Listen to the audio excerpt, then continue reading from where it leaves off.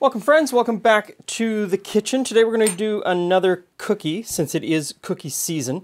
And this is a cookie that I had in a small little uh, bakery shop. And I asked for the recipe.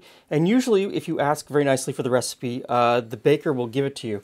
So I was frantically on my cell phone typing into the notes section and I got the recipe in this massive quantity and then I had to reduce it down to a much smaller quantity. Um, and I think I got everything. So we're going to give it a go today. This is the first time I've made it. This is the first time I've made it with the lower proportions. Hopefully I get it right. So into the mixer bowl, I put cocoa, white sugar. I'm going to put in brown sugar. I'm going to put in some melted butter. Some warmed or hot milk. Some instant coffee, and everyone's favorite chocolate hazelnut spread, Nutella.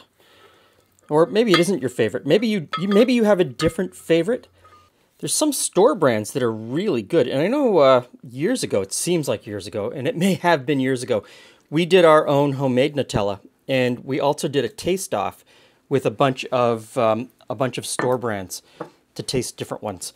So I'm going to put this into the mixer and I'm going to mix this on sort of a medium speed just to start off, just to get everything to come together. It is very sloppy and you don't want it to, uh, you don't want it to slop everywhere.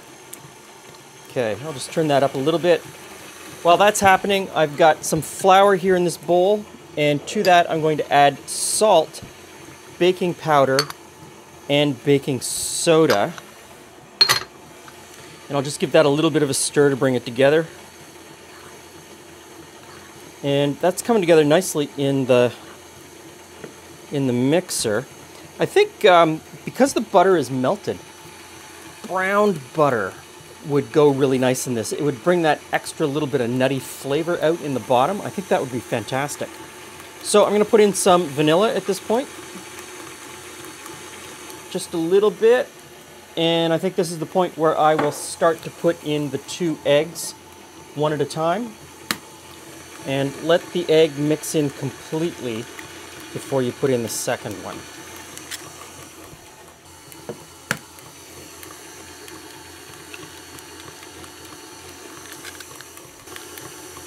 Okay, I'm just going to turn this off and scrape down the sides.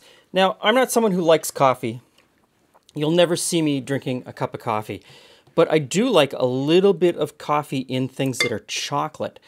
It sort of, it deepens that chocolate flavor and it doesn't really come through. You might get a little hint of coffee, but you'll never get a big hit of coffee, which is quite nice.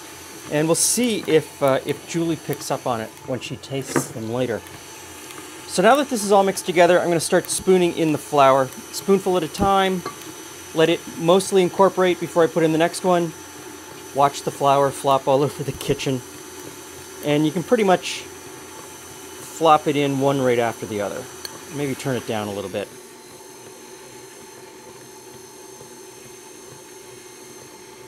All the flour is in. Now time for the last two additions, and one is chocolate chips. So I'm gonna put those in. And the last one is supposed to be hazelnuts because we use Nutella, which is a hazelnut chocolate spread. I should be using hazelnuts. I've got pecans. I went to the grocery store this morning and they didn't have any hazelnuts and I was really busy. I didn't have time to run from store to store to store to try to find them. I just wanted to get what I needed and get out. So I had pecans in my cupboard and we're going to use those. It'll be fine. Obviously, you want to use hazelnuts if you can get them. I'm sure I could get them. I just didn't want to search everywhere. Now, this batter is about the consistency, and I said batter because it is the consistency of batter. It's not quite a cookie dough. It's got the consistency of, I would say, a brownie batter. I don't know if that's good or bad. Let's stick it in the fridge for 20 minutes or so just to get it to firm up a little bit, and then we'll come back and bake them. Couple hours in the fridge and this has firmed up nicely. I've got a piece of parchment paper on the baking tray and, you know, pretty standard cookie stuff. scoop it out, put it on the tray, space them out. I'm going to space them fairly far apart because I don't know how much this batter or dough is going to spread during the cooking process. Um, given how loose it was before I put it in the fridge, I'm kind of afraid that these are going to spread really, really far apart and that I may have gotten the recipe wrong when I was transcribing it. So, scoop these onto the tray, get them into the oven, hope for the best.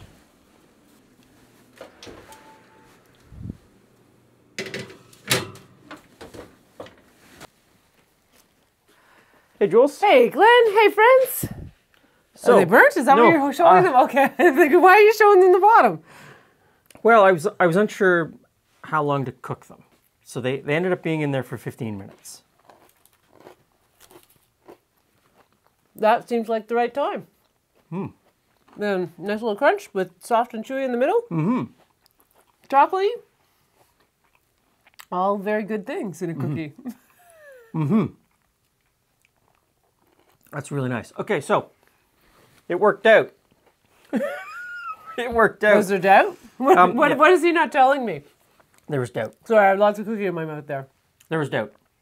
Um, do you taste the coffee? I would tell you if I told, tasted Okay. the coffee. Can't taste the coffee. So the, I don't really like coffee. the coffee is just there underlying That's boosting the just chocolate. enough, yeah. Just boosting the chocolate. Um, the Nutella is sort of just a hint. It's pretty subtle. It is very subtle. And it is more subtle because I couldn't get hazelnuts, so I put pecans in instead of hazelnuts. Ah, so that would have that would have boosted the. Would change it a little bit. This is a really good cookie. I'm really happy with this. Now, Mine's gone. it's still made. There's only a tray here. The rest of them are portioned and in the freezer. Oh my, that's some fu- future cookie So- eating. There's 60 cookies that made. Hmm. But those. Okay, but how many did they claim it would make? Because it probably claimed it would make 375 Oh, no, 375 well- cookies. Well, no, no. So I got this from I got this from a, a pastry chef. Okay.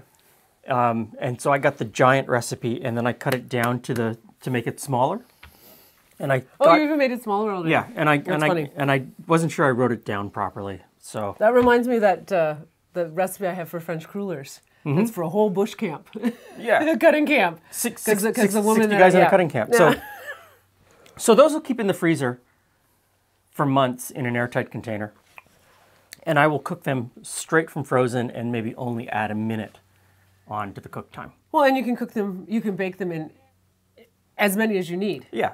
So Six in the toaster oven. Yeah. Six in the toaster. That's really good. okay. So this is this is a great cookie. I would I would highly suggest if you like chocolate and you like Nutella, You are gonna have to like chocolate. um, give this a try. And if you really like coffee, feel free to double or triple the coffee amount to sort of give a little bit more of a hint of coffee. Thanks for stopping by. See you again soon.